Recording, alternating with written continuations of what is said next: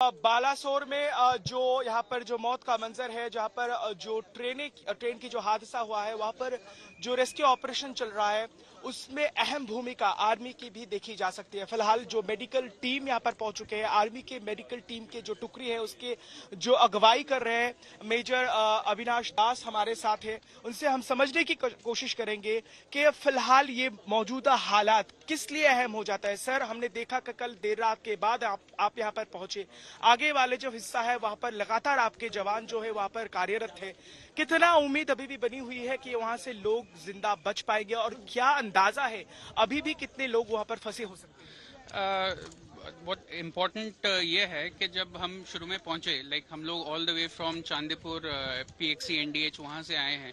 And we are basically हम लोग जो सिविल अथॉरिटी है, उसको हम बैकअप प्रोवाइड कर रहे हैं।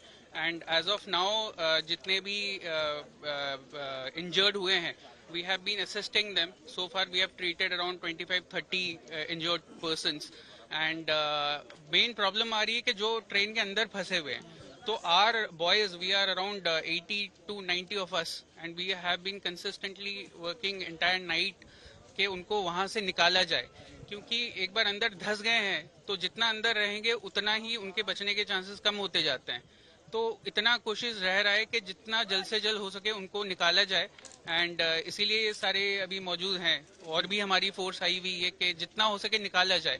क्योंकि with each and every passage of time उतना ही उनका कम होते जा रहा है। अगर जितना अंदर रहेंगे उतना ही बचने के चांसेस कम होते जाते हैं। I do appreciate very initiative we completely understand कि इस मंजर पर आपका यहाँ पर मौजूद रहना कितना अहम हो जाता है। पूरे देश ये समझ रहा है लेकिन हमें जरा बताइए कि आगे वाला जो दो बॉगीज है अब तक कितना अंदाज़ा है? क्योंकि हम देख रहे हैं कि मिनट दर मिनट डेड बॉडीज जो है वो वहाँ से निकल रहा है।